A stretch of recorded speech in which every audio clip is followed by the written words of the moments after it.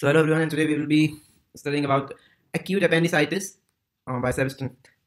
So appendicitis, first we're starting with the pathophysiology. So it is caused by the luminal obstruction and uh, the appendix is very, very vulnerable because of the small luminal diameter in relation to its length and what happens is the obstruction of the proximal lumen of the appendix lead to elevated pressure in the distal portion because of the mucus secretion and production of gas by the bacteria. So what happens that the venous drainage is impaired and it results in mucosal ischemia. Now full thickness ischemia result in uh, later result in perforation. So bacterial overgrowth within the appendix uh, result to bacterial stasis which leads to the obstruction. So the most common sequel of the formation of an abscess in the periappendicular region of pelvis.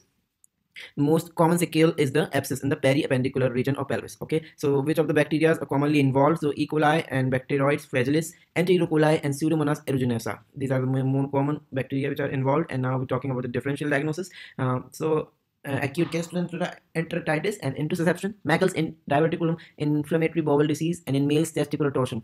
So nephrolithiasis and UTI can also be the cause differential diagnosis. Now in women and the childbearing age, uh, the differential diagnosis should be the can be the ovarian cyst and Michel Chamard's this is the mid-cycle pain occurring during the ovulation, endometriosis, ovarian torsion, ectopic pregnancy, and pelvic inflammatory disease. This can be the differential diagnosis in women.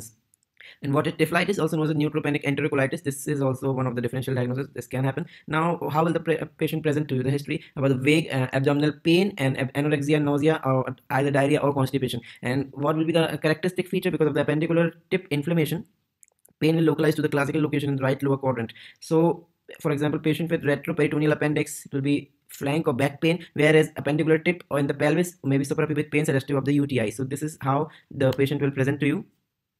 Now, absence of fever is not an exclusion to the diagnosis of the appendic appendicitis. Okay, and now the abdominal examination, how will it reveal? So our quiet abdomen with the tenderness and guarding on palpitation of the right lower quadrant, classically over the McBurney's point. What is McBurney's point? Is one third of the distance between the anterior superior iliac spine and umbilicus. So pain and tenderness are accompanied by the localized peritonitis as evidenced by the presence of rebound tenderness. So diffuse peritonitis or abdominal wall rigidity due to the involuntary spasm of the overlying abdominal wall musculature is the strong suggestive of the perforation. Now, uh, there are a number of signs uh, which are the which aid in the diagnosis, not peculiar, but aid in the diagnosis of uh, appendicitis. So it's a three important signs: Rovsing sign, so presence of right lower quadrant pain on palpitation of the lower left lower quadrant.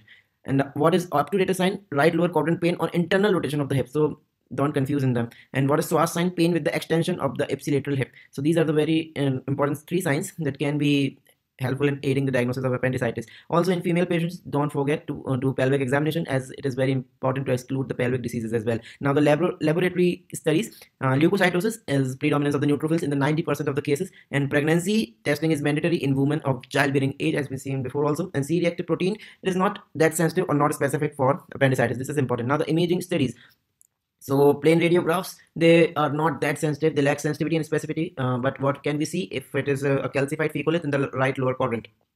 Now, CT scan is most common imaging and very high effective and accurate. Now, how to diagnose appendicitis on CT scan? So, based on the thickening and inflamed appendix with surrounding stranding indicative of the inflammation, the appendix is typically 7 mm in diameter with a thick and inflamed wall and mural of enhancement or target sign, and periappendicular fluid or air is of appendicitis and suggest perforation. Now, with MRI, as a result for the use in the pregnant patients, the MRI offers excellent resolution um, because the criteria for MRI diagnosis of the appendicular enlargement greater than 7 mm, thickening is greater than 2 mm, and the presence of the inflammation. Sensitivity of MRI is 100%. Now, the approach to the patient with suspected appendicitis, the appendicitis suspected clinically is uh, symptoms is less than 48 hours or symptoms greater than 48 hours. So, I will be talking about it later. The symptoms of greater 48 hours. Now, symptoms of less than 48 hours. So if it is a male or female. So female, first we have to rule out it is pregnant or not. So if the, it is pregnant, to follow the pregnancy algorithm. And if it is no, then we will be doing the CT. If it is positive for appendicitis, lap, lap appendectomy. Negative, so observe it. we will be observing. If no improvement, diagnostic lap will be done. And improving, discharge will be done. And other diagnosis, so that will be treated accordingly. Now male, classical presentation, localized peritonitis, lap appendectomy. Equivocal presentation, so we will be doing the CT scan. Positive for appendicitis, so lap appendectomy. And negative, so brief same again thing no improvement. Diagnostic lap improving so we will be discharging. And if other diagnosis so we will be treating according. So this is the approach to the patient with suspected appendicitis. Now on ct scan uh, see how it looks the the arrow you can see that this uh, target sign and uh, this fluid around the appendicular tip in the coronal view. Now in the ultrasound image of the appendicitis also a target sign can be elicited. Now treatment uh, is uh, fluid assistation, broad spectrum antibiotics against the gram-negative, gram-negative and anaerobic organisms. So open appendectomy will be done and choice of incision is the surgeon's preference, um, mainly the McBurney's incision, oblique muscle splitting incision. The cecum is grabbed by the taenia and allow visualization of the base of the appendix. Now meso uh, and then mesoappendix is divided and appendix is crushed just above the base ligated with the ligature and with cauterized or pulse, purse string suture or Z suture technique. And if you are doing a lap appendectomy, so bladder is emptied, we have to remember this. And atraumatic graspers to elevate and mesos appendix is divided with the harmonic scalpel and we will be doing the same thing.